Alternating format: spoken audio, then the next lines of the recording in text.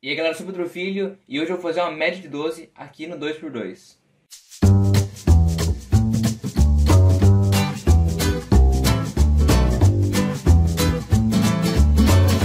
Eu vi que vocês gostam de vídeos de média, então se vocês quiserem pode fazer mais, é só deixar o gostei e comentar aqui que você quer mais vídeos de médias. Posso fazer de 3x3, Cube, Pyramix, 4x4, ou o que vocês quiserem.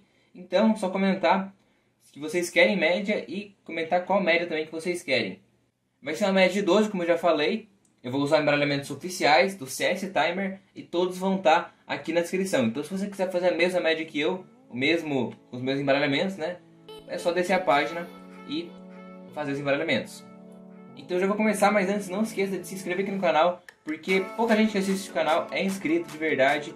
Então não custa nada, é só descer aqui e clicar no botão vermelho e você já está inscrito. Então vamos lá.